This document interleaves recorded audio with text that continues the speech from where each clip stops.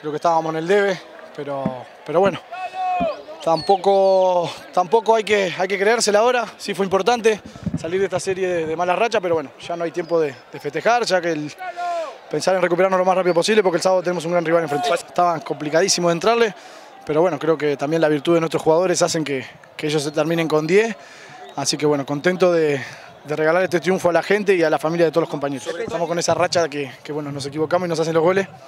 Así que bueno, sirve, sirve aprender, sirve mejorar siempre. Así que bueno, para no volver a, cometer esos errores. Pero, pero bueno, por siempre el equipo demostró rebeldía, actitud y salió a buscar siempre los tres puntos que es lo más importante.